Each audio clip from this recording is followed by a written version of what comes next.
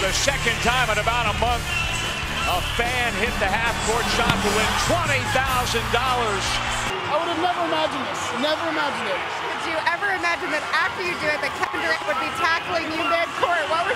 reaction to that? I've seen the LeBron footage many times, and I was watching the game that night when it all popped up, and I was telling the guys in the back, and I told my girlfriend, I had said, hey, I want West, Russell Westbrook or Kevin Durant to tackle me. I Just one of those two.